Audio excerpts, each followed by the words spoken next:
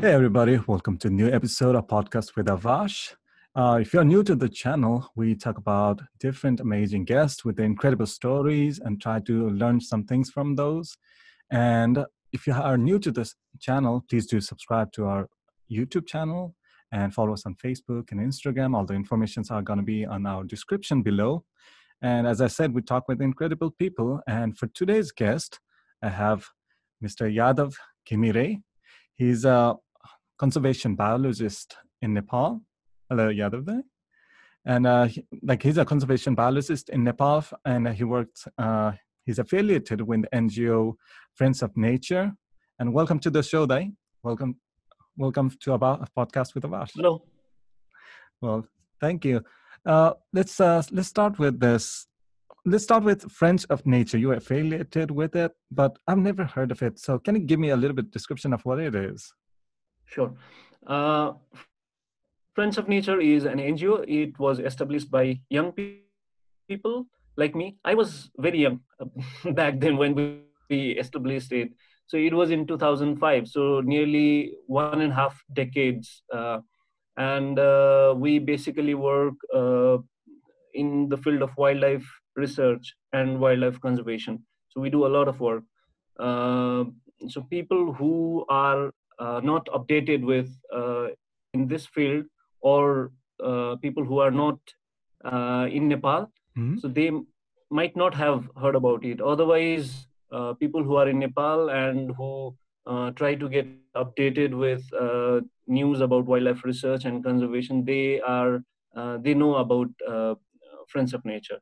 Okay. Uh, we do so, a lot of research and conservation work. Yeah. So this is actually you. Uh, you are the founding member of the this. Uh, okay. I was not a founding member. Uh, our friends, but I was in the group okay. Uh, of uh, people who founded Friends of Nature. Yeah, I joined one year later. Okay. I mean, this organization definitely feels like since it was founded like in 2005, as you said, it's a pretty old organization and like for us, like I am in, in I've been in states, uh, but I, it's like I'm not heard of those organizations because, because there are many different organizations, but these are like so important kind of organizations to help con- for the conservation of uh, like uh, wildlife and uh, flora and fauna in Nepal.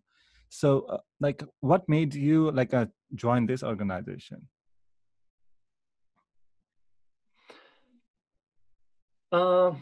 it it was not not that I I thought that I would uh, join this organization. It was all um, I don't know how to put it, but uh, uh, we had to do a thesis at the end of our masters, uh, and I was a bit confused when uh, when we had to do the thesis. I I, I didn't know uh, which topic to choose and what to do. I was new to this field. Actually, my bachelor's is in physics. Mm-hmm. I had uh, my BSc in physics. So and I did my master's in environment. So that that was a quite U-turn uh, in terms of academic thing. So and I didn't know about properly about how to carry out a thesis because we we didn't have to do anything uh, in our bachelor's and uh, i didn't know about grants. Uh, i didn't know that uh, some organizations or agencies or even uh, corporates they would uh, uh, offer grant for people who carry research on certain topics. I didn't know about all those things. So i was confused. And one of my friends he we work together at friends of nature now. His name is raju acharya. So he is executive director so he offered me uh, some uh, monetary support for carrying out a thesis, but I had to do thesis on human leopard conflict in Mustang district. So that was his term. So if you carry out uh, your thesis in human leopard conflict in Mustang district, I can offer you some monetary support so that you don't have to uh, put uh, money from your pocket for carrying out your thesis. So I said, okay, that's that's very nice. So, and and and we carried out uh, that work in 2006. It was in 2006. Uh, I carried out my thesis, and since then I never felt like I had to leave this field. So I I felt that I belonged to this field. So I never never ever thought of leaving this field. So that that was how I uh, joined this field. You joined the uh, Friends of Nature, but uh, like uh, the way as you framed it, like uh, Friends of Nature is basically a conservation uh, organization for Nepal. Uh, Nepal. Uh, is it like a flora or fauna? Or like, can you describe more about the works of this organization? We mostly work with mammals and birds. So, if if if I'd like to say something about our current work, mm-hmm. I'll I'll just tell you some some of the works we are carrying out right now. Sure. Uh, annually, we we uh, organize one festival called Nepal Owl Festival. Owl, O W L Owl. Mm-hmm. Uh, so we we are carrying out that festival since 2012. So in 2020, we uh, organized that festival in Syangja district mm. in in central uh, central west Nepal. Uh, so that was the ninth edition. So during that festival, what we do is we try to uh, look for a new area because we we carry we organize that festival every year in a different district in Nepal. So what our initial plan was, we we will carry out this festival, organize this festival in seven, 75. Back then it was 75 districts. So we thought we will organize festival each year in different district so in 75 years we'll organize this festival in all of the districts of nepal that was uh, our plan and it, it has worked uh, quite well till now this year we uh, did it in uh, Syangja in February 2020. So what we do is we we don't organize that festival in uh, urban areas. So we don't look for cities. We don't look for towns.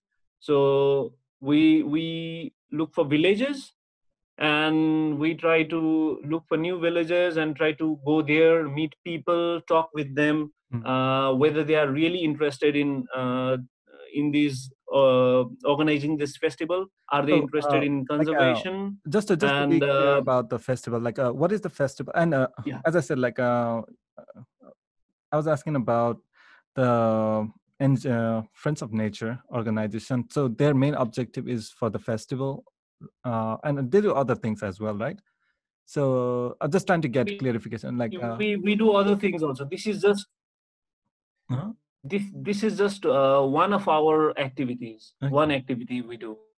So this festival is one. Then we have like we also do work on clouded leopard uh, research and conservation. Recently, we have uh, we have a project on clouded leopard conservation. Uh, we we have uh, we do that in uh, central Nepal, so Annapurna conservation area. North central Nepal. Uh, what we do is we work with students mm-hmm. and local people. We organize uh, conservation awareness camps for them, and then we uh, produce conservation materials like posters, booklets, brochures, which uh, which has the message on clouded leopard conservation for people. Uh, we organize training for local people, uh, like forest firefighting training, nature guide training, uh, and uh, then we also prepare radio programs for general mass for the awareness and we organize uh, eco trips like hiking for students. Uh, we take them to forest. Uh, we make them uh, identify uh, these signs of animals.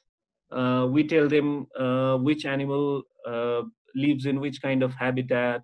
we provide them binoculars, books.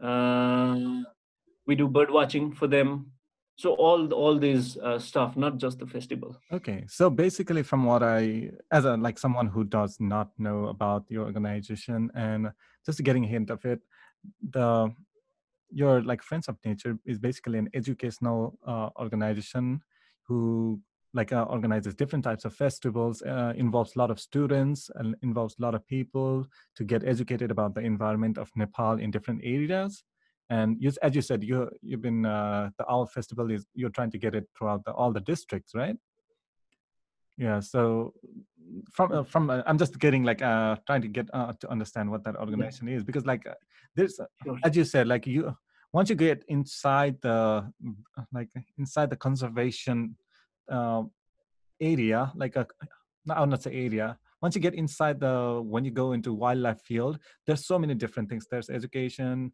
and like uh, even from the way we were taught as uh, children like uh, when we were younger students we can go into understanding about uh, like wildlife protection getting education getting students to volunteer here and there and uh, you being involved in uh, as a con- conservation biologist it's a very interesting spot for you to be. I, I know you are like you are you more work mostly for conservation rather than like do you do marketing side or do you do like educational for students as well? Or do you do more in the research side? Uh, both. Okay. Both uh, we do like i i uh, just told you about uh, our work on uh, making students and uh, local people aware mm. on uh, different species their importance and even training them um, building their capacity.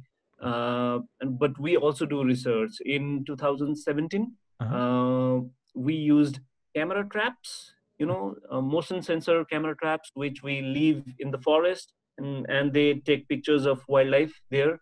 Uh, all uh, species like leopards and clouded leopards and black bear and deers, uh, martens, and ev- everything. and we we left the camera traps in the field for like three months. Mm-hmm. And we looked at the data uh, in that area, in Annapurna Conservation Area, mm-hmm. uh, in the lower part of Annapurna Conservation Area, we recorded around at least four uh, clouded leopards, uh, around 11 leopards. So we, we do research also, and we are we also publish uh, articles uh, based on this data. Uh, and recently, just yesterday only, yes, uh, we were offered a grant from an organization called Panthera. It's okay. it's a it's an organization based in US, and they they fund research and conservation activities for cat species. Okay like leopard, clouded leopard, tiger, lions. So these are cat species. So they they fund uh, for activities like research and conservation on cat species. So we were yesterday only. We uh, I got an email uh, that we are uh, being awarded a grant for carrying out a research, uh, which and the objective of that research is uh, looking at the density density of clouded leopard mm-hmm. in Annapurna conservation area. So we, we will carry the population density, we'll estimate the population density of clouded leopard in the same area, Annapurna conservation area, and we'll also uh, look at the diet from their, their poo poop you know so uh, we'll collect the poo clouded leopard's poo and then uh, we identify mm-hmm. because each uh, scat they have like this dna mm-hmm. dna you know so uh, so we can identify the individual clouded leopard from their scat uh, and from based on that information we'll uh, estimate their density population in that area and then we'll also carry out like uh, if a cloudy leopard eats something then the fur fur hairs of that animal the prey animal will also be in its poo so okay. we'll try to uh, look at what the cloudy leopard is eating okay so uh, I guess like first, congratulations on getting like uh, the grant for like uh, for okay. research and so on. Like, of course, as you are, as everybody knows, getting grants for especially like uh, environment, uh, environmental research or anything related to, nature and so on is pretty difficult. And uh, like help getting those grants helps out to get uh, more information so that you could preserve more like animals and uh, protect their environment by getting more research i guess but uh, like uh, as you said, like I remember you said like you talked a little bit about owls and festival, but like we'll we'll get back to it again. But the clouded leopard is an interesting thing. As you said, you for you it's just like normal. You just talk about clouded leopard, and we'll just collect poo. We'll just uh, research uh, like how many are there, population density, and you said you were researching on the Annapurna. Annapurna. Uh, what area was there? Annapurna Conservation Area. Annapurna Conservation Area. So uh, basically, your uh, your grant or uh, like your research is on that. My bad. And that side of the uh, reservation area, only uh, Annapurna, or do you have multiple places as well? So right now we are only working uh, in Con- Annapurna Conservation Area. We have plans. Mm-hmm. Uh, we have plans to expand our work, expand our research, expand our conservation work in other parts of Nepal also. Mm-hmm. But right now uh, we are focusing on Annapurna conservation. So uh, at just, the moment, yeah, just to get like uh, our audience a little bit more background on uh, like your research. So uh, you like uh, as you're being a part of the Friends of Nature NGO, like how before we even go into cloud, clouded leopard i want to make this a little bit uh, better understanding is your organization has uh, like do they work with some kind of like a location wise like how you would be able to make those research or how, how those contracts usually go?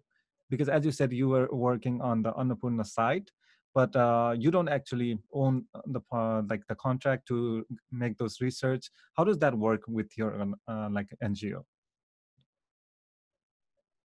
uh, uh, uh, I think I need uh, to hear that question once, okay, uh, once again. Because I, I have had a talk with my other friends, like they always have problem getting a site to make a research on.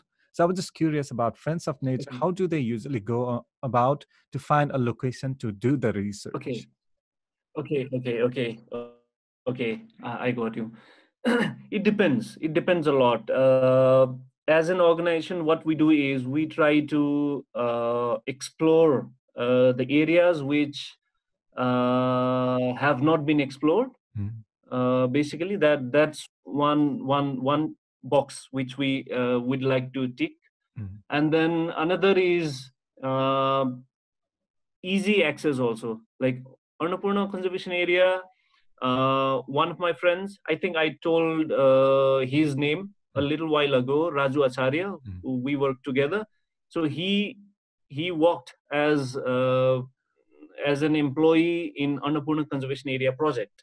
So which which manages Annapurna Conservation Area. So mm. he worked uh, in that area uh, previously. So he has a very good uh, rapport with uh, local people there and all agencies. So that's that for uh, to work in Annapurna conservation area, it's easier for us.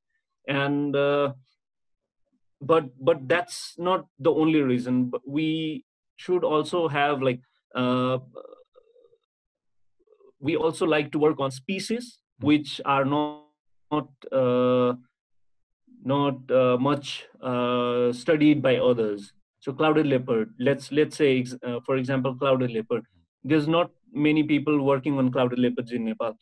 Uh, to be very honest, I think uh, the person who is working on clouded leopard for like let's say six, seven, eight years back, it's it's only me. Nobody uh, has worked on clouded leopard for so long. Somebody tries to uh, do research for one project and then he or she leaves. So that that's what is the problem. So we look at the species so uh, if like we don't work in tigers we don't don't work on tigers because there are so many people working on tigers already. So we don't just like to uh, populate uh, that that uh, aspect. So uh, clouded leopard nobody has worked. On Annapurna conservation area we know that clouded leopard are there. Okay. so that's how uh, we do and and then we have like good connections with uh, local agencies there. So three three box uh, take okay, so, and we we go to the Annapurna. So, uh, like uh, as you said, you have worked uh, regarding like you have made more research on clouded leopard. Uh, just to like, um, I remember the clouded leopard being uh, one of the icon of the SAARC games, like a long time, long, long time ago. like I don't know. I was back home, like back in Nepal, like that must be about 15 years ago when we had uh, Nepal had SAARC games. Clouded leopard was one of the a mascot of it, and uh, I, I don't quite remember. I think it was it was snow leopard. My bad. Is it snow leopard and clouded leopard different, right? Yeah, different. Different, different species. Okay, I got I got mixed up, but it was at least the leopard. So clouded That- leopard. that's, that- that's fine. That's fine. And what is clouded leopard? Like, uh, is it a unique species? Not a unique species, but like, is it only found in Nepal, or like, is it more common type of leopard? So uh, it's it's a very interesting species, uh, clouded leopard. It's uh, based on its size. Mhm. Uh, like for cat species, like uh, we know domestic cat. Everybody knows, isn't it? The feral cats, the cats which move around our houses, and uh, and uh, so these domestic cat and tiger, the Mm. big tiger, they are like very much related. They, even there's even myth in uh, Ne- Nepali language that uh, the domestic cat is the maternal uncle of tiger. So that's that's a very common story, isn't it? So uh, scientifically also they are very related. Both, both are cat species. Mm. So there are some some features which uh, which differentiate cat species uh, from others. Like if we look at their paw, uh, paw Uh-huh. So they they have these claws cat species have claws Yeah. dogs also have claws but uh, but what ca- what differentiate them is cats can uh, retract their claws so while walking they don't they don't uh, they have Chip claws away. concealed Yeah. nobody can see their claws Okay. so but when they are like uh, hunting Mhm. or they're attacking something they they take out their claws and uh, use them. But Yeah. dogs dogs they cannot do that like that. Dogs have open claws. Okay. and so that's what uh, differentiate uh, cat species from dog species. Okay. so we have 12 species of uh, cats in nepal. Uh, like tiger is one. Everybody knows tigers. And even leopards. Everybody knows uh, leopards. And snow leopard it's also uh, like very famous. Mhm. Uh, but clouded leopard is one which is like very few uh, people know about uh, clouded leopard uh, the size wise it is smaller than tiger leopard and snow leopard it's around uh, 20 20 around 20 kgs heavier ones uh, but they have kg. very unique adaptations So, uh, very unique uh, so you said 20 kgs for like a uh, clouded leopard, right? Compare that to a tiger. Around, yeah. What what does a tiger weigh? Tigers 200 plus 200 plus. So it's like 10 times. Tigers are 10 times 10 bigger. times yeah 10 So times. clouded leopard almost feels like a house cat. Yeah. Cl- clouded uh, leopard. Yeah. Like a, yeah it's it's it's like a domestic dog a domestic dog. Oh, so is it bigger than uh Yeah. How how big? Like I'm just trying to get the comparison. Like how big is it uh, to the regular feral cat? feral cat could be like somewhere around uh, three four four five kg Oh, around uh, three to four times bigger okay. So it's like a regular cat's like three four kgs. The clouded leopard's like 20 kg, and the tiger's like 20, 200 kg. Yeah. So that's that's a like so whole, yeah. Log, log yeah spectrum uh, log in And- in in the research of like a log way it's just like in the medium yeah yeah so like so uh, uh, yeah and they have uh, some some very unique adaptations clouded leopard uh-huh. uh, two three i'll, I'll just uh, tell you about uh, two or three features. One is uh, their very long tail. Uh, they have around uh, the ta- length of their tail is equal to the length of their body. Oh. Very long tail. So they live mostly in trees they're arboreal. They they can climb trees like monkeys. Very expert. So they live in, trees. So the long tail they need for the balance oh. one feature. And another is we know the canine teeth. Yeah. Even we canine have, we have them too right? The the that we call it. Yeah. yeah yeah. So the canine teeth they have it's very long like two inch It's like a saber this. saber tiger kind of thing. kind of yeah, Yeah. so uh, the tiger when we talked about tiger tiger also have around the same length like two inch two and a half inch Mhm. but clouded leopard being 10 times smaller has the same same uh, length of uh, canine so probably that is uh, if it it also hunts while it is in trees so it needs to get hold of its prey species pretty tightly otherwise it might uh, fall so maybe that is uh, one reason why its uh, canine teeth is so long and then the Mhm. third adaptation is uh, we have this what, what is this called ankle Uh, ankles usually for like a wrist, the wrist. wrist okay Okay. ankle is the leg leg isn't it Yeah. So yeah so so the hind leg Uh-huh. hind leg of clouded leopard the ankle bone it can rotate its like let's say this is clouded leopard leg Uh-huh. it can rotate its ankle like back like this Okay, I, I, I, I can't put up the image in my head, but I'll, I'll try to research those.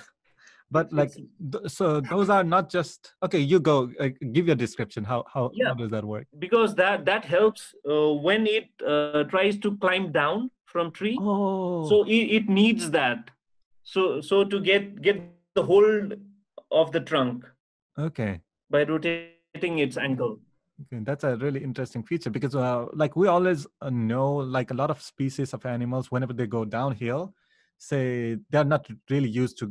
They are really good at going uphill, but downhill they're not really good good at it. Like, uh, say, rhino and other, Mm. like, a spe- uh, like big uh, elephant or so on.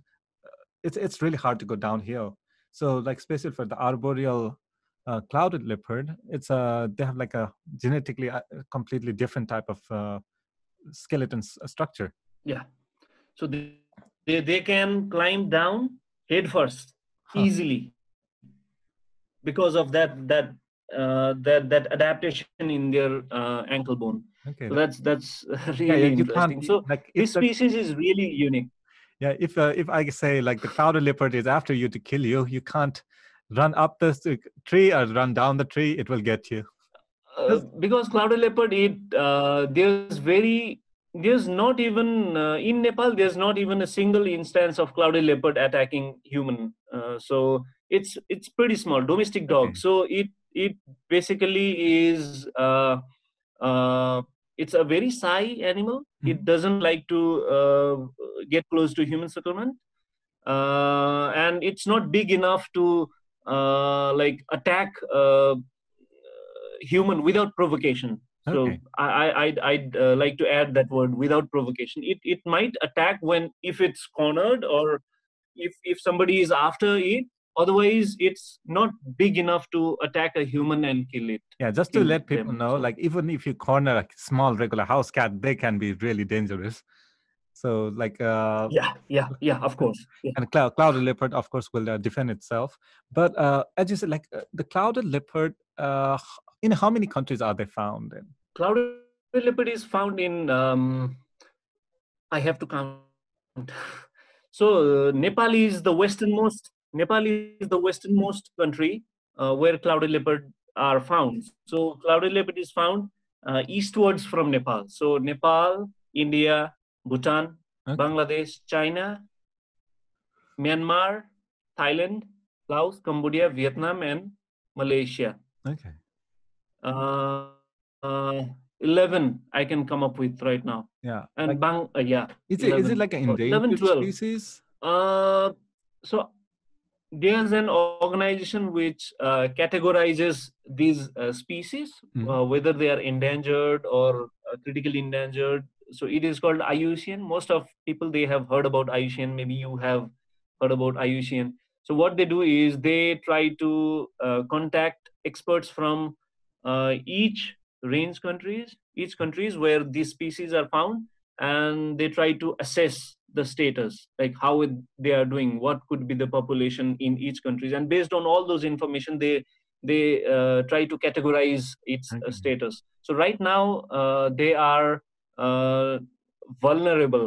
So it's Okay. a vulnerable different category Okay. vulnerable vulnerable so if if the threats that are uh, acting on this species if they are still threatened and still killed like they are being killed now over time they'll become endangered okay so, so uh, one criteria to to to make people understand one criteria just one criteria we have like IUCN has like five criteria to assess a species uh, status mm-hmm. so one criteria which most people can understand i'll tell so it's the population size mm-hmm. uh, so if globally if a species has less than 10000 population then it is vulnerable mm-hmm. so clouded leopard they are not uh, like they have like less than 10000 uh, across the world. Okay. That's a that's a pretty low i guess uh, for the leopards. Yeah. so uh, like uh, with your research like uh, when you say you as you said you have worked with uh, clouded regarding clouded leopard for about five six years so uh, you have done a lot of research but when you go about like uh, for any researchers in nepal what do what kind of data do they usually collect to uh, to make it uh, legitimate research in that sense like it would help the community of uh, like getting uh, those knowledge out so that others uh, like other organizations or environmentalists can uh, gain the data to make it use of it some way. Like what uh, how does your research usually work in your field? Right now in nepal most uh, people or most organization we use camera traps okay. at the moment but it also depends upon species. Like let's say if we want to research on bats mm-hmm. then camera traps won't work. Okay. So they have different uh, but if when we uh, talk about uh, species like cat species dog species like fox jackals uh, and others then we mostly use camera traps. We leave them uh, in the forest. Mm-hmm. there's particular specific method how to you how to put those camera traps in the forest.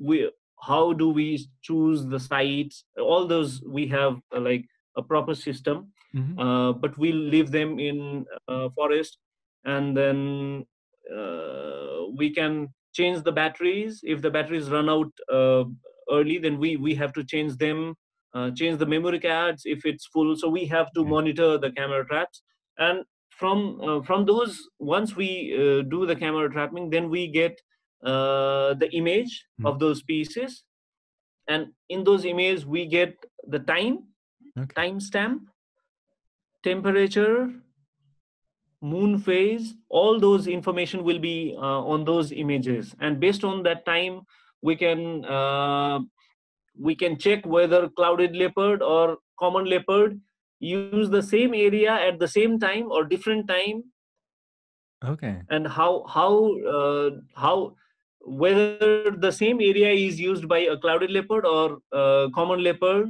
whether they avoid each other or not, we oh. can come up with uh, the numbers of clouded leopard, numbers of uh, common leopard based on because clouded leopard has patterns on its body. Okay. Uh, even common leopard has patterns. So each individual has different patterns Like we have we have fingerprints. Oh. They have body patterns different. So all all of the so based on leopard, those image, uh-huh. yeah. So all of the clouded leopard uh, have the different patterns. So that's how you recognize. Okay, this one different, is that. Different. And different, do you like totally distinct? Yeah. Beside uh, doing the f- photography, like a uh, trap, photo trap, do you also like uh, catch catch any any of them or put a radar or any of those things? You mean you mean yeah collars or collars? Yeah, radar collars. I, I I, I plan to do that, but it's for some for some reasons uh, there's there's some difficulty in getting permissions when because uh, there are when we do research there are two two things we have to uh, take care. One is whether we are handling the animal mm-hmm. or we are not. So there, there are oh. two. Either we can handle the animal. So putting collar is handling the animal we have to trap them we have to anesthetize them and then we have to put collar so that is called invasive uh, research so we handle we disturb them but when we put camera traps when we collect poops Okay. then that's non-invasive. We don't handle the animals so we don't uh, stress them uh, with uh, what we are doing. So uh, the best thing everybody wants to do is like sewing uh, putting uh, trapping clouded leopard handling them and putting a profile picture in facebook that's a different thing. But a, a researcher he or she if if information is readily available they then they don't want to handle the animal. That's not good for them. So that's the last option of getting uh, information. So mostly we'll try to do with scats Mhm. camera traps and other stuff. But there are some some information which are not easily available uh, then then we also do the coloring track them check which areas they are using Okay. and all those stuff Yeah, you So- kind of you kind of bring an interesting point in that sense. Like whenever we think about uh, researcher environmentalists, they, we always think like they're going with the tranquilizer, they sedate the animal, they put the microtrack chip, and then let him Yeah. go, and then collect data in the computer. But that's more like invasive. Like uh, that's Yeah. the animals will get trauma or some uh, like they'll get shocked, and they'll try they'll change their behavior. I think, like if they something's like invasive. yeah uh, yeah yeah things happen and uh, for us like oh the like the environmentalists do it. So people are like oh the, go more closer to the animal. They feel like oh they can people do it anyway. And that uh, that is not a best way. As you said is that's like uh, that's the last option. Uh, like more i think you the way you said it. So there are so many information which uh, we can we can collect without putting the color zone. Mhm. so we can know which time they are active through camera traps. Uh, like for clouded leopard it's really really really shy animal. So i told you that we did a camera trapping in 2017 Mhm. we got only uh, out of we had 53 cameras uh, five were stolen. So out of 48 uh, camera traps we got uh, clouded leopard in only three. Out Huh. of 48 we got camera camera trap clouded leopard pictures in only three camera traps. So that's it's it's very shy okay so those camera traps uh, work when some something passes nearby right? It's like motion sensor? Yeah something passes in front of them yeah. Okay. Out Yeah, of motion 53, you only got only three. So three did you put like very few that's very few did you put it on the since it's arboreal, did you put it on the top of the trees as well? Uh, no it it it is arboreal but uh, it spends a lot of time in trees but it do uh, come down to the ground also Mhm. so it's not only monkeys that it feeds on so it feeds on squirrels it feeds on uh, uh, barking deers uh, which work uh, on the ground uh, and even wild boar and smaller uh, himalayan serows and all those uh, species. So it there's a lot of evidence that clouded leopards they come down to the ground and spend quite a lot of time uh, on the ground also but it spends a lot of time on uh, most uh, time on trees. Okay. but we put it on the trail walking trail. Uh, there have been many studies where people they have put camera traps on ground Mhm. and they have uh, estimated uh, the population density uh, of uh, clouded leopard also they have done so there's good evidence that it can be done but so in our case we Uh-huh. couldn't do probably it's it's it's the site specific thing okay. Yeah. So uh, like has there has there been enough research about like uh, how many clouded leopards are there in Nepal? Like uh beside uh the Annapurna area. uh, uh, there was recently a research in Langtang National Park. It's east. It's just north of Kathmandu city. Uh, there was a research in 2014-15 uh, before uh, we did our Annapurna uh, survey. So they have come up with some uh, information. There was one information. Uh, otherwise, not many research have been done. Okay. Yeah, I guess there's a lot of opening for that. And uh, they, they, they i think they have come up with um, i have read that paper but I, I just forgot the number. It could be around three to five uh, individual clouded leopard in their area. Okay. in the area where they yeah. camera trap. These are these are all interesting things. Like uh trying just trying to get the animals uh, number is so difficult and you need to put uh, like uh, do extra research and that's uh, way more hands-in experience as, i think. So uh like a, I'm, uh, i want to get back to you as a conservation biologist. You you just uh, like talked about like a little, little of your work with the clouded leopard. So like uh beside clouded leopard like you being part of the ngo and you uh, being a researcher conservation biologist like how do you think like uh as nepal is uh, as you know like nepal is a very uh, wildlife and diverse uh, country. Like uh, do you think your research and your works has uh, benefited like uh, in helping out the animals or like uh, helping out the environment? Or do you feel like a, uh, there's a lot to be done? Like how do you consider your work so far? Um, it's a very uh, difficult question. So actually we we have tried our best mm-hmm. um, but there's a lot of things uh, still to be done. Like uh, i'll i'll give you one example.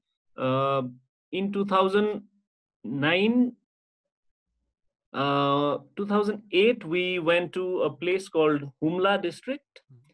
Uh, it's in the northwesternmost corner of nepal. So it's close to tibet uh, close to mount kailas which is like very famous so I went there in 2008, and then we talked with local people there. They said that uh, wild yak, a species called wild yak, everybody knows domestic yak, but very few people know like, that there are wild yaks also. So they said wild yak are found uh, in that area. So it was really interesting because what we read and what we knew was that wild yak was extinct from Nepal. Mm-hmm. So but we from, from local people we knew that uh, wild yak were still there so we planned to do an exploration there. In 2013 uh, we did an exploration. We found some evidence of wild yak.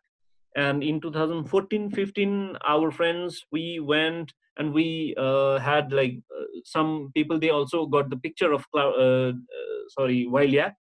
So interestingly the government government they were also interested in uh, like this area this uh, humla. Uh, and then in 2016 the government they asked us to do a detailed survey even the socio-economic survey and biodiversity everything. So and also suggest what what could be done for the area. So we did that survey and uh, submitted the report. We are yet to hear from the government. So they they they they initiated the study. That was a very nice thing but the report i don't know what has happened with the report. Uh, we are hopeful that the government will uh, do something. Uh, so they we have suggested that some some level of protection should be uh, provided in that area. And uh, and and uh, like there's the area was also declared as one of the important birds and biodiversity area okay. iba so nepal has 37 important bird and biodiversity areas. So that area is one of them. And it's because of um, the work we did. Okay. so so there are some instances where we see uh, we see the success of uh, what we did uh, the result of what uh, our work. But in some some cases like lot has to be done before we see something as a result positive result. So uh, it's really difficult to uh, pinpoint uh, that all of our work has uh, uh, provided good results. Mm-hmm. but i think it's a it's a process long process. And in some in some cases it shows results positive results very early. Mm-hmm. Uh, humla was one of the such such um, process but there are some like clouded leopard research and conservation it's still long process i think it will uh, take time yeah. to uh, uh, for the results and there, there's one uh, interesting uh, result also for clouded leopard also like in the area where we are doing the local government now we uh, nepal has three levels of government local government state government and federal government mm-hmm. so the local government in that area they have uh, declared clouded leopard as uh, the spatial uh, wildlife of that municipality, okay. Madi Rural Municipality. So they have give, given the official, uh, they have declared clouded leopard as an official uh, wildlife. So that that's a very um, good thing, and that's because we have been doing work on clouded leopard and trying to convince them. Mm-hmm. So that's one uh, positive result from yeah. from our work. From from like uh, just getting to understand you, like from my perspective, like uh, you do basically you love nature and uh, you do your work trying to uh, preserve it, try to get those uh, like uh, all the data and uh, all the information to the public and to the government and try to work with government try to uh, preserve it as a, as i said i asked you a hard question is like uh, like what what basically have uh, you know, eh, to put it in an uh, easier term like what basically have you done that you find eh, like you have saved uh, like for your work was it validated or not? Like you just explaining like okay you try to uh, work with government and try to save the animals means a lot like uh, i don't know if you want to say like it directly or not but i feel like uh, all the environmental uh, biologists like you and like all all of the friends i know they are like basically the protector of the animals animals and the natural ecosystem. Like you are you guys are like the big heroes. Yeah you don't want to say it. You just work and you just do the data you take photos. But from our like outside pers- uh, perspective you guys are the real heroes trying to protect the nature trying to keep the biodiversity alive and not be and just give us give us the warning like okay uh, the the human activity or some natural activity is impacting the lives of uh, all of these animals and areas around and give the public the information like what is happening so that we don't lose any uh, other animals. That we don't get to see hopefully we don't get to see another animal being extinct. So that's why like uh, i just wanted to get your perspective. You are like uh, just talking to you you are really focused on your work. And uh, like for me to just uh, understand you it's just like okay you you really go into detail. And uh, like your work means a lot in outside of this all of those data and all of the tracking everything encompasses at the end is like you guys are really trying to protect the animals right? Yeah. Uh, no, not just the animals uh, uh, like uh, uh, like clouded leopard let's say or or leopard uh, what they do is they are like top predators. So they they uh, like tigers let's say. Uh-huh. uh, tigers are the top predators apex predators. So there's nothing above them. Mm. so in nature uh, except humans except humans nothing can kill a tiger one on one. Okay so uh, tigers are the top predators they they they regulate the prey population like they feed on uh, spotted deer they feed on uh, gaur, they feed on wild boars and all those uh, prey animals and keep their population in check. Mm. So it's not just when we look at uh, when when you see you you or other people they might think that i'm just protecting the clouded leopard yeah my my my objective is to conserve clouded leopards but it has ripple effect. Like when we conserve tigers then then they regulate the prey population. If the prey population goes beyond the uh, beyond the numbers that the ecosystem can hold then then the there will be other effects. Like uh, a lot of prey species they feed on grass mm. and uh, leaves and those they, they will feed overfeed. So so yeah when we look at directly it's like conserving one species or one individual but it has like this ripple effect. Yeah all the top like so it's like saving an ecosystem. Yeah. It's not just like uh as you know it's like uh, there's tiger there's deer deer eat grass and other grass uh, population. So if one is let's say there's no tiger for example then the deer population explodes because there's no prey uh, like a predator so the, the explosion yeah. of one yeah. like sub, say deer population will destroy the like smaller populations of uh, like rodents and other. Yeah. Yeah. So th- there's a massive chain of uh, chain reaction. If one population or one species is uh, more or Yeah. even less, so like you, uh, you guys are Yeah. basically trying to keep that in number, keep those uh, information out there, so that if there's need of human inter uh, like interjection, like I, I've know known about like uh, in America at least, there's a big problem with uh, Burmese python in Florida and uh, uh, lion lionfish in a lot of the rivers. Like the population is increasing because there's no predator, and uh, people usually go like um, go and kill out uh, all of the uh, python. They just go and kill. In like of course uh, everybody would say killing isn't bad, but when there is like uh, when there's no prey or like the, there's no predator for those snakes, Burmese snakes, the the snake population is dramatically increasing and killing off all the uh, like smaller uh, species so same with the in nepal too i guess you guys are like basically trying to protect the what is the balance there yeah. Yeah that is the thing. And uh, but uh, the example you provided it's a little different because burmese python Mhm. it's it's not native to us yeah so it was somehow it's, it's an exotic species. yeah exotic species. so it's not uh, native to us so it doesn't have a natural prey in in us Mm. so the population explodes. There are so many other examples like himalayan thar in new zealand uh, they some some during some time some people they uh, transported himalayan thars to new zealand and there's no big predator there thar? so himalayan thar they have like the population has himalayan thar it's it's a uh, it's a goat species wild goat species okay sorry i, I had to explain that yeah no, no, uh, so it's no, a I, I had no uh, idea it was a goat. himalayan goats wild goat species Uh-huh.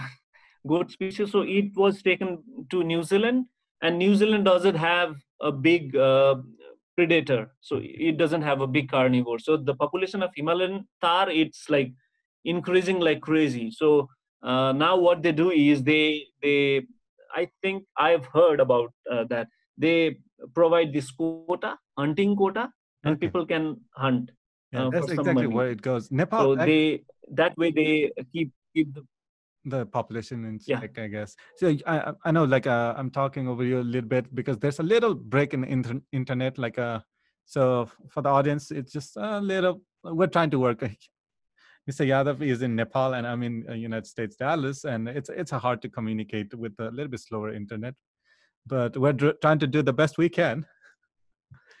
So, yeah, uh, yeah, yeah. yeah. so uh like uh, as you said about uh those invasive species does like uh from your study does Nep- did nepal ever have an invasive species come in to the wildlife In in mammals, we don't have. In mammals, I am not sure about uh, any species, Mhm. but there are some other species. We we have plant species, invasive, and we have like some snail snail species. Mm. Uh, there are some invasive species, plants and small insects. In mammal, I'm not sure there are there are not not many invasive species okay mammal wise. i mean that's good yeah Yeah, good, good. yeah if there's any it's like uh if there's not balance of species the the how do you call the native species get destroyed off like uh because the the Yeah. invasive species have some kind of advantage over the native ones Yeah. yeah i i i, watched too many natural geographic and uh, discovery so i'm a little bit versed on like what happens at least on nature wise not like ex- uh, like i have like nobody should take an how to say me an example or take my information as a fact but i feel like oh i know something about the nature and it's always fun to be involved in the natural things and all of those uh, natural channels and it's always fun and like what what motivated you to be an, a conservationist? Uh, I think it, it was um, from from my heart. I think I was always a conservationist. I was always a conservationist. I didn't realize it uh, till I till I did my uh, master's thesis. I never realized I was a conservationist, but in my heart, I was always a conservationist. So when I did my master's thesis in uh, human and leopard conflict in Mustang district uh, in Nepal, so that time I realized that this is what I always wanted to do. I, I, I didn't know that I didn't pursue it as my passion, but it came towards me and I realized. And since then, I have never looked back. Uh, and and I, I feel satisfied doing yeah. what I'm doing. No, you're doing amazing. Like uh, all of the researchers, uh, you having a team and working on those are really interesting. And you said like uh, you did a master thesis on human uh, human tiger conflict. Can you explain a little bit about that? Like in human area. So, yeah. human leopard, oh, leopard, leopard. It's not not tiger, but leopard.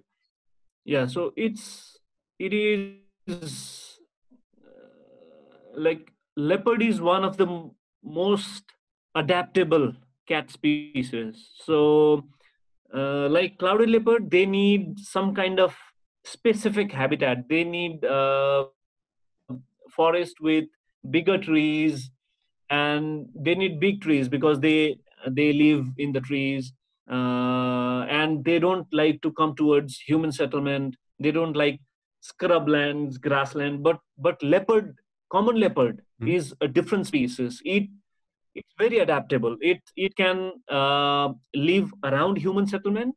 It can live in dense forest. It can live in scrublands. It can live in even it is even found in uh, Middle East deserts of Middle East. The, so it's a very adaptable well. species and uh, hmm? in the Sorry? deserts as well. So so uh, yeah, so it's it's a very, very adaptable species. It has a big range. It's in it's found in Africa also it's found in asia. So it has a big range. It lives in all kinds of habitat. It lives close to human settlements. There's a documentary called the leopard of Jawai j-w-a-i the leopard of Jawai.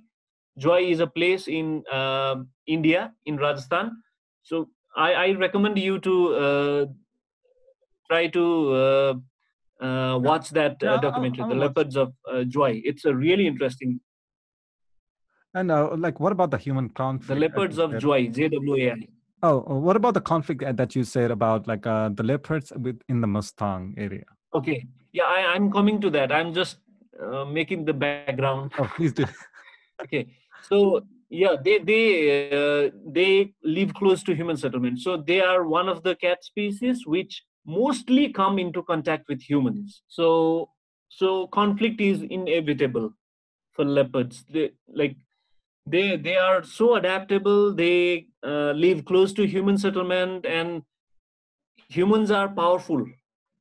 So leopard is also in in its own term it's it's an apex predator. So when these two species come close uh, they're bound to be happen some some they're bound there's bound to be uh, some conflict uh, to happen. So in mustang uh, we went and we found that uh, uh, there's some some conflict happening. So leopards trying to prey on yaks smaller yaks and mountain goats the domesticated mountain goats changra we call it. Mm-hmm. uh, so they try to prey on those species which uh, the local people they have raised. They they they rear livestock. So uh, livestock rearing is one of the important uh, uh, occupation for them important source of income. So leopard uh, tries to feed on those livestock. So that's how people get into conflict with leopard. Okay. So like i don't know. Hopefully there have not been any like uh, like no uh, lives lost of people but like uh, were there any kind of like stories of like uh, any kind of tragedies or what was the real like uh, were people scared of the leopards or like how did they deal with them? In that case i think conflict was low. In in that particular area conflict was not that high. Leopard used to uh, feed on livestock but it was not big. For uh, for one family i I have to check the figure because I didn't. Uh, it's it's a long time. I haven't looked at my thesis, so it should be around uh, three four thousand Nepali rupees per uh, family. So the cost cost of conflict. Oh, so that's a, that's they, a lot for, for people, especially. Yeah, yeah. For some people, it's it's quite a bit. For uh, for some people, it's very high. Like there are many uh, families which uh, which live in income of less than uh, one US dollar. So that's quite a, okay. lot for some uh, families. But still, that is uh, not very high compared to some other places where, like, uh, in in uh, in a district called Tanahu, mm-hmm. in the last two years, more than around 10 11 people have been killed mostly uh, children. So that's that's even bigger cost you know? Yeah, it's, it's even by uh, bigger the conflict is even bigger by leopards yeah.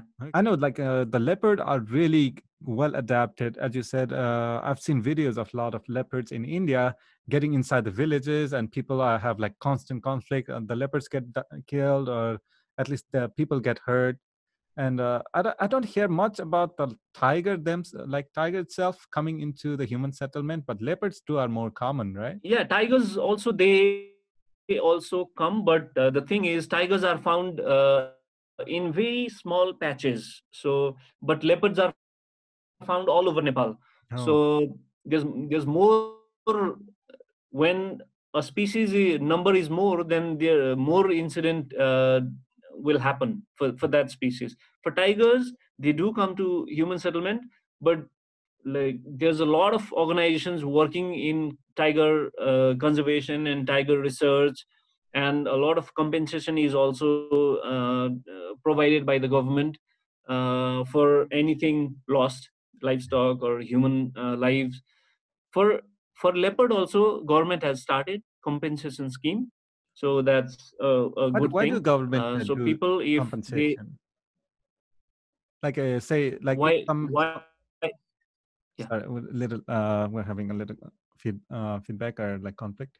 Uh, why do government uh, usually like give compensation if uh, say tiger or leopard kills some uh, somebody? Tiger it's an important species. It's important for tourism. It's important for nature itself. Mm-hmm. so and there's a lot of uh, conservation funding for uh, tigers so we don't want to lose tigers because they are iconic you know yeah. so if if there's no compensation if there's nothing provided by government or any other organization people are bound to retaliate and uh, kill okay. tiger in retaliation so the compensation is provided to uh, to uh, to to not let people do that to not let people kill uh, tigers or common leopard in retaliation it makes sense, but I don't know how much people would be like, okay, I got the money, but I'm not going to retaliate against uh, some animal that killed something. But the the best practice probably would be to not have that uh, conflict at all, right? Yeah, best is, but like I'll give you an example of Bhutan. You know, Bhutan is like it has around seven hundred thousand people. Yeah, probably seven hundred thousand people. Mm-hmm so even Kathmandu Valley, it has like four million people. Okay. So Bhutan as a country has like five times less people than uh, Nepal. Still, there's a lot of uh, like forest is connected, and there are very few people. Still, uh, people get into conflict with uh, tigers or leopards there. Consider Nepal. We have like uh, three 30 million, nearly 30 million people. Yeah. So this wildlife, they live in islands. Leopards and tigers, they live in islands surrounded by human villages. Yeah. So just just uh, reducing conflict to zero, that's that's not possible. Mm-hmm. That's not possible at all. Conflict is bound to happen. Uh, just just what we can do is make sure that the conflict is minimum mm-hmm. and if if happens if conflict happens then try to make sure that people would not retaliate so okay. uh, compensation mechanism and then uh, in some places there are insurance scheme also like uh, uh, other organizations or external organizations or government they provide uh, uh, money for uh, these livestock herders or others to insure their livestock so that if a tiger or a leopard kills their livestock Hmm. they get their money in full from insurance company so that they don't uh, kill leopard or tiger so, So- these are some of the uh, yeah Yeah. So, uh, as you said, the the government basically provides as an insurance, or uh, if some just to protect that tiger, just that the people would not retaliate because the tigers have tigers, leopards, or any other animals have a big natural, like uh, they're natural wild animals,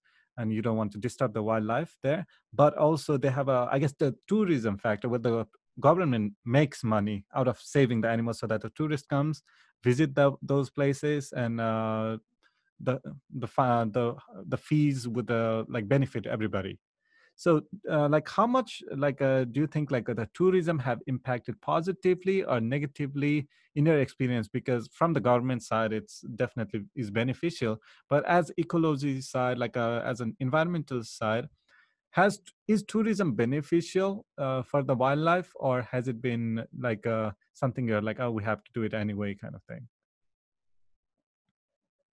Um, it, it it depends. Uh, it depends upon uh, how we are uh, managing the numbers of, tourists. Mhm. Uh, if if it's too high, uh, so there there has to be a proper assessment before uh, starting this safari and all those stuff. There has to be a proper assessment, like how many uh, jeeps, safari jeep can uh, enter uh, a national park in one day.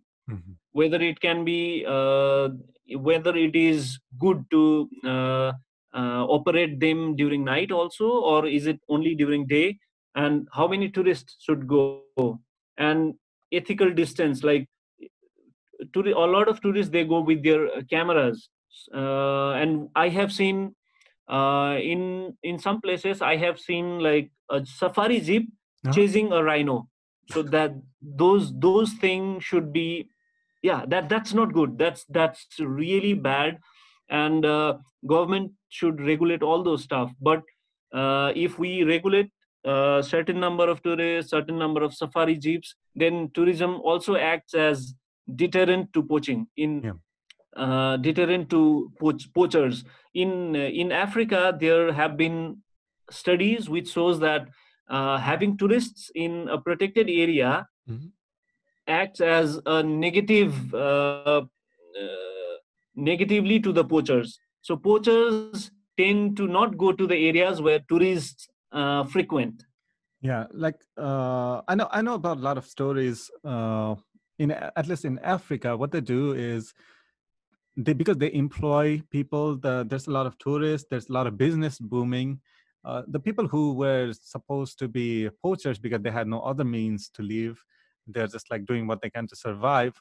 You know, even even though those are bad deeds, they actually have a job and when people say they conserve the area like uh, when the conservation is done the tourist comes the money flows as well so the people leave uh, their poaching for a better job a risk free job like uh, poaching has its own uh, like risk like there's a lot of risk for the people because uh, basically government usually try like either set up like a police or armies they can hunt down the poachers themselves which is like a risky job for them.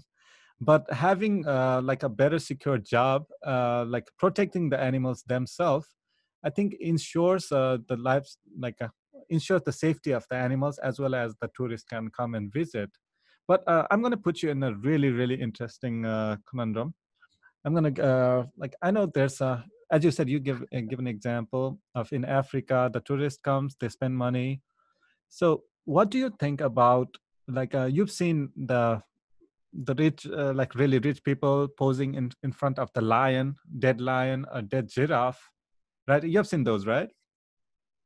So uh those are so, some of them are really horrible like the picture themselves are super horrible.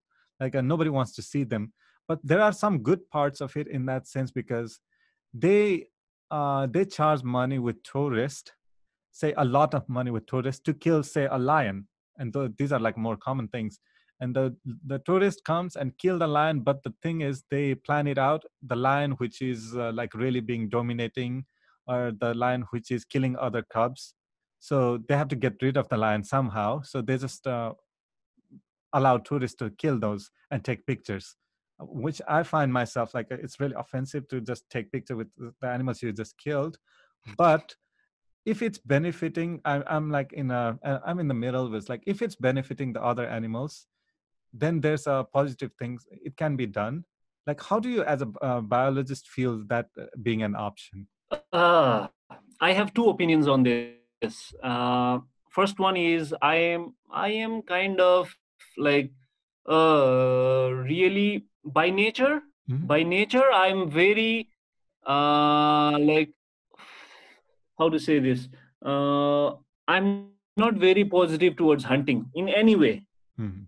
that that's my my actual nature but uh over the years i have read uh papers i have looked at the documentaries i have discussed with a lot of conservationists big names and i have come to conclusion that that's one way uh, uh, population can be managed and some kind of funding is also but but that has to be properly done mm. that has to be properly done if if that is not properly done then the animal will be killed the money will not go to conservation so it has to be uh, there has to be a proper assessment before carrying it out and there has to be proper system mm-hmm.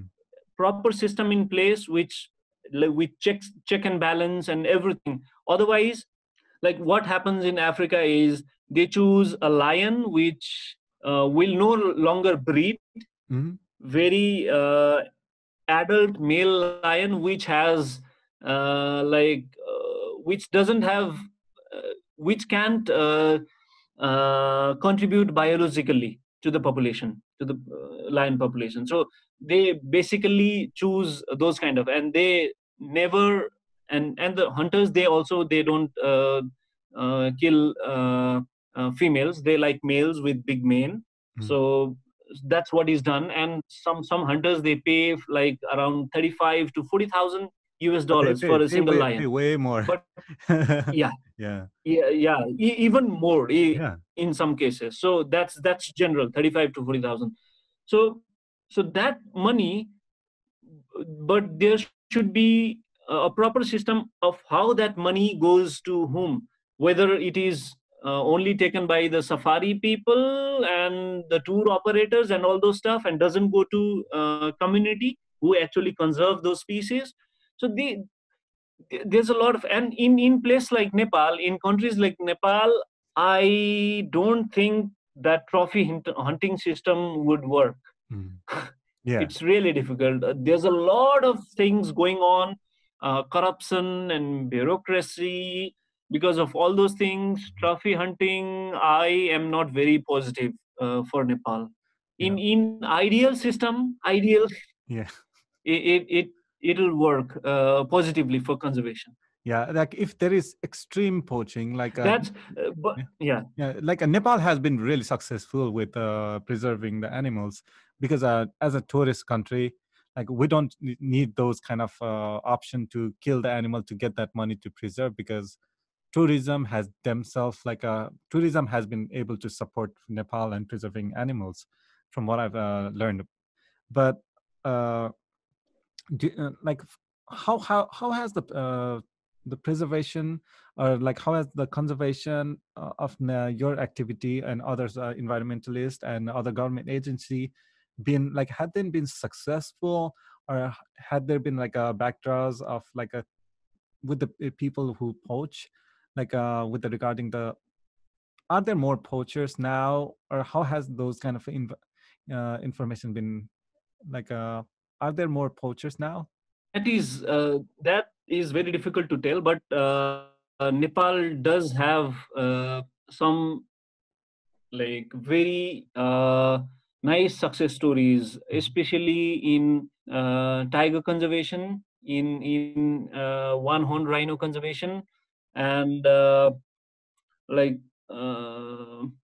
those those two are uh, very uh, good work. And there there's a good uh, work being done uh, for red panda conservation also. Uh, though there are still there are a lot of incidents of red panda being poached but uh, but there's some organization which are doing good work. And like government is also translocating asian water buffalo mm. to chitwan from kosi that's a very good thing because uh, a threatened species if it's in only one one area that's not good. Uh, if there's some disease genetic disease the whole population can be uh, wiped out. So it's good to have uh, those some some population transferred to some other um, probable habitats. Mm. so that's uh, so government is doing good thing and uh, considering considering other aspects of uh, the government like education and all uh, all other stuff i think in conservation government is doing uh, quite well in in nepal there, there's a lo- always uh, a lot of room for improvement of course yeah. but uh, whatever it is doing it is going uh, quite good okay that's, that's good news accept. that's a really great news to hear and like beside the government like uh, from your organization how many different uh, non-government organizations are there like trying to preserve uh, trying to get information and research for the different populations of wild animals in nepal uh, I, I, I, can't tell you uh, the, the, exact figure right now because i don't know but uh, 10 15 organizations are doing a good job i think there could be many more mm. but uh, 10 15 organizations uh, are doing i think all right. They are doing a good job. Uh, like some organizations they are especially focused on small mammals. Uh, one organization is focused on red panda. Okay. Uh, some are uh, focused on pangolins. So there are different organizations and many of them are doing uh, good work. That's really great news. Like uh, at least in nepal there's uh, you like even for a conservation biologist or any other uh, field people who are in research area basically at least in nepal as a third world country there's a great uh, environment and all the tourism sector but economically a lot of people like you have to depend on uh, research and other as a job. Like there's not much i guess people's interest in conservation has like always been coming from their heart but economically for new people to get into this job field there's there's it's a it's a difficult job field right? Uh economically yeah. as well as the job you do like uh say for example any research you do like how many days do you go into that field?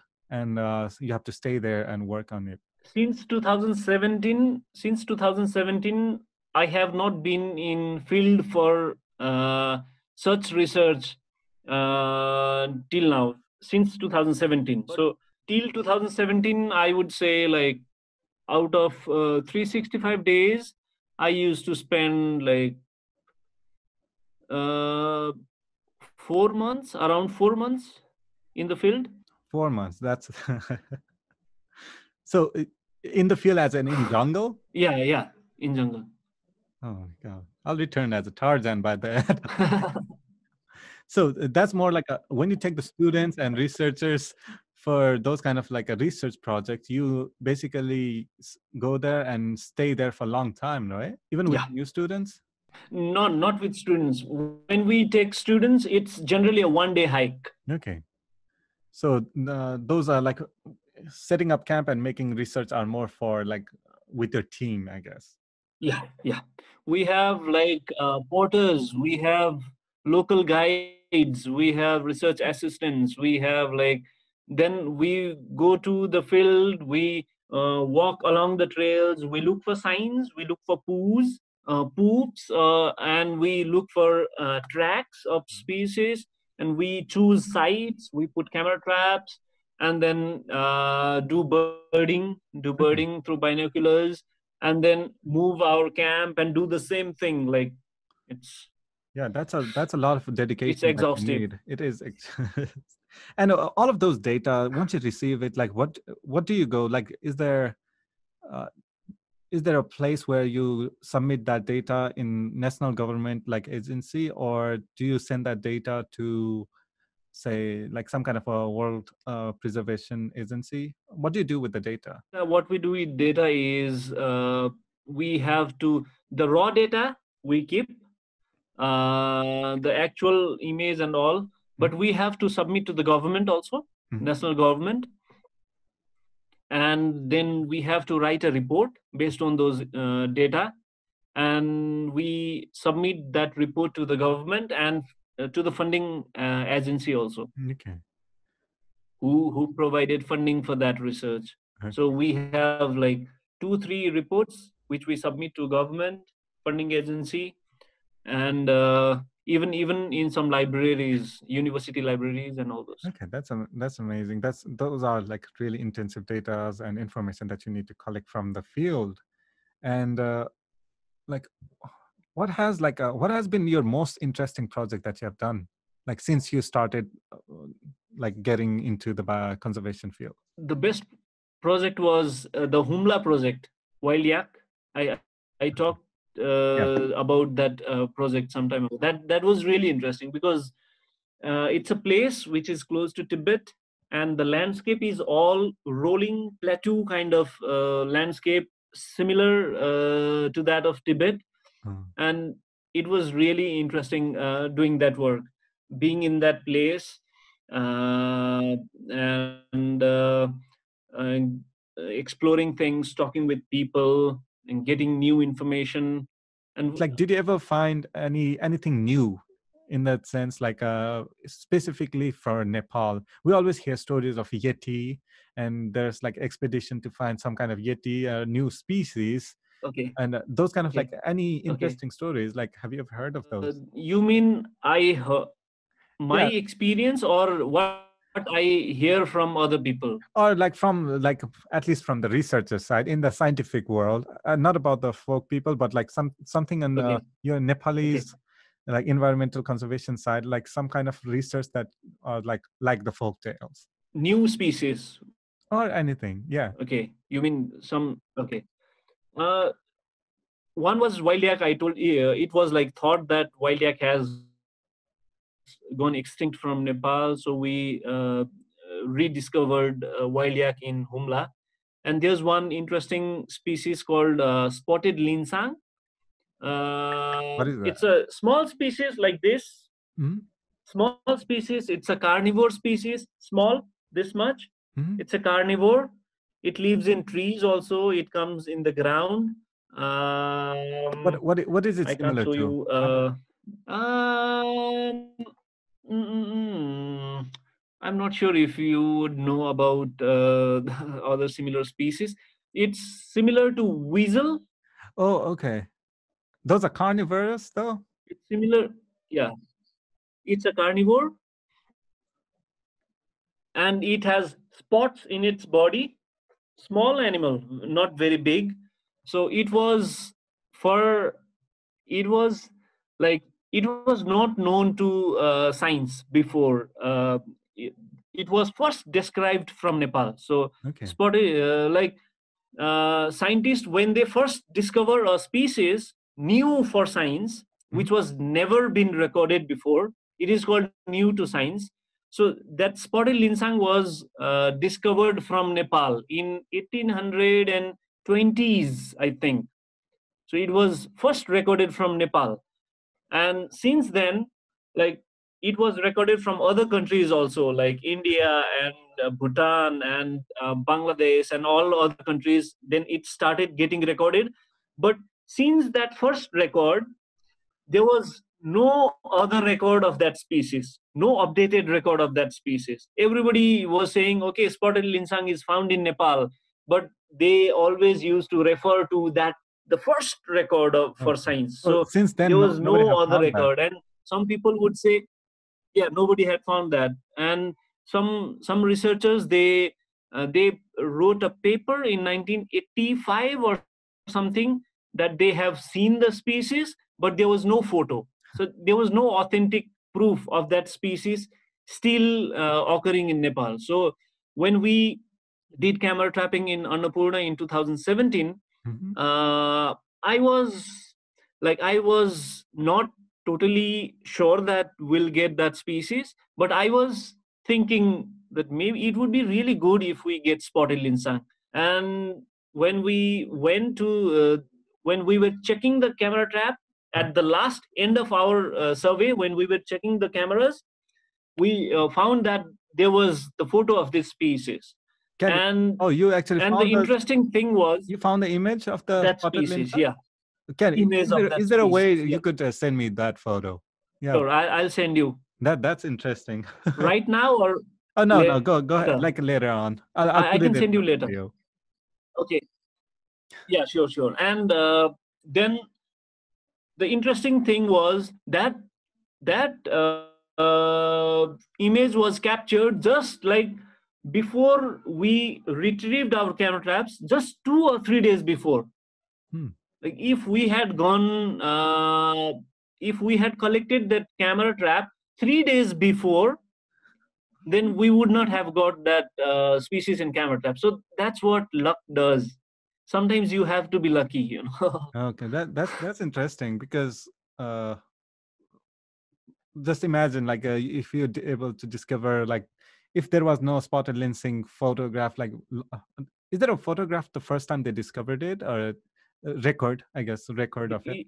They they they didn't have uh, a photograph. They painted it. Painted the guy illustrated in painting yeah just yeah. imagine if that was not so and the first time you discovered it.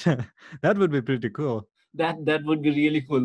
Yeah like uh, just imagine like uh, for you to be working in the conservation area like the one of the coolest thing would be to discover new species. Or like uh, maybe you'll uh, like maybe you uh, in your lifetime you might be discovering something else like that's in nepal.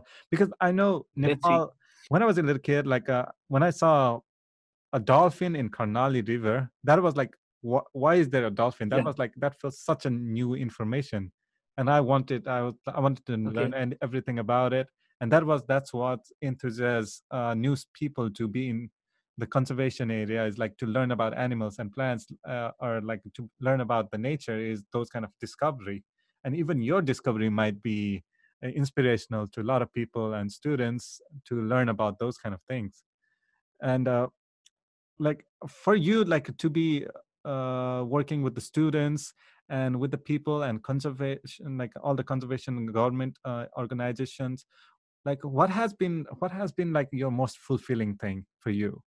It's it's a very uh, difficult questions. Like there are a lot of like a lot of uh, incidents when i feel like i'm doing good work uh, but the most fulfilling is uh, the humla incident only when it was listed as one of the important birds and biodiversity areas. Oh.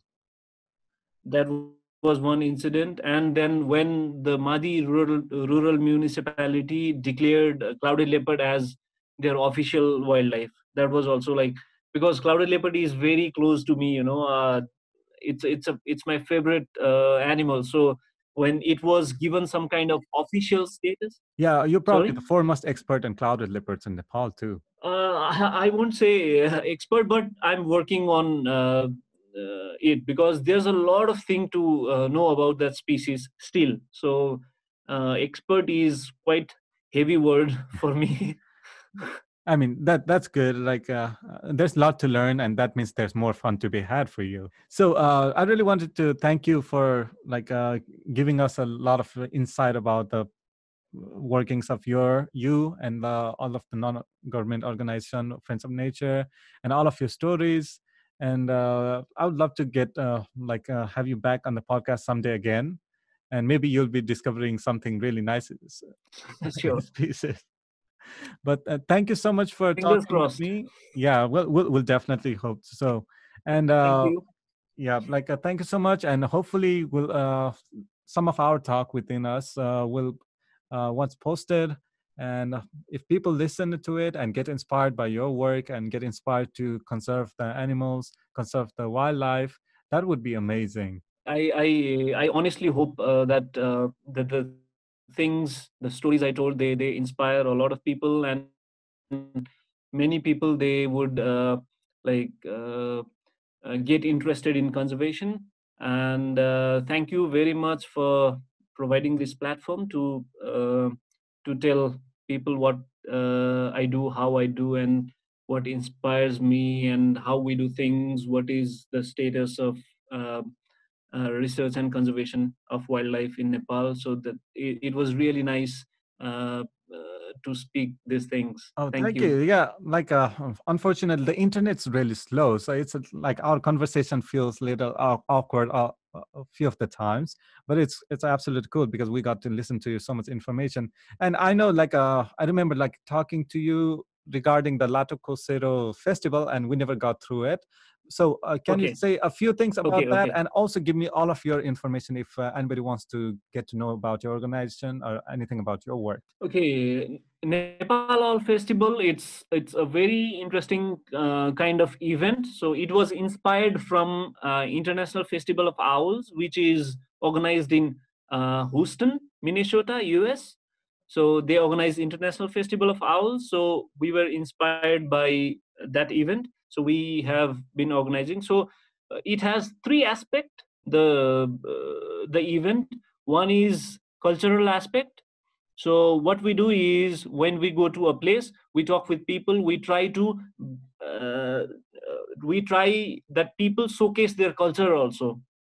Uh, so it's not only about uh, conserving owls. It also about conserving local people's culture. So if we go to a gurung gurung village or any other village we try them to uh, bring their folk dance folk instruments and uh, even the local games. The games which their ancestors used to play but they are not known uh, today. So we try to revive those games revive the culture. And then there's education aspect uh, also where we uh, uh, display information on owls. Interesting information on owls Um, and uh, uh, like uh, documentary on owls. Uh, we uh, have made like owl audio audio audio calls of many owl species, videos of owl species, and many other things related with owls only. If you go to that festival, you'll feel it like owl is everywhere. So people learn about owls people learn out about local culture. People learn about local games. So that's what uh, we try to and if we only keep it like education wise most people will get, will get bored. So that's why we uh, also included the cultural aspect games aspect so that people will enjoy the festival as a whole not just not just as an owl conservation education center but as an event, as a festival. Yeah, that, that so that's why fun. we do that. So that is a festival, and and Friends of Nature.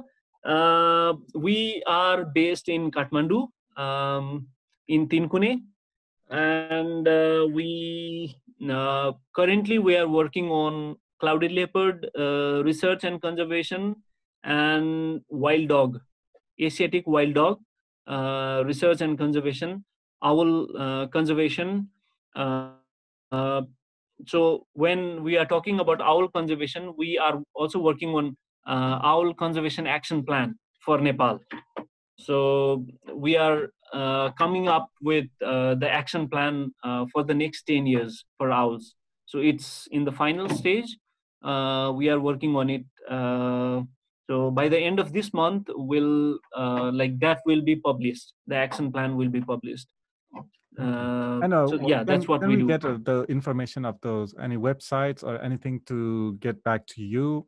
Or if anybody wants to connect to you, like uh, okay, yeah, we uh, our website is fonnepal dot org www dot fon friends of nature fon fon nepal dot org uh, we are in facebook uh, you can uh, check Friends of Nature in Facebook, Friends of Nature Nepal in Facebook, in Twitter, in Instagram, in YouTube. Okay, awesome. Yeah, I'll try to put the information all in the description as well. So it was really good, Sure. great talking to you. And hopefully, uh, we get to see more of your work and uh, more festivals, and hopefully, you'll uh, be recognized uh, and all of your uh, like environmental conservation, uh, like all your team get uh, more works and uh, like save more animals. That would be a really great thing for everybody. Thank you. Thank you very much. Well, thank thank, you you so much, much and hope to talk to you again.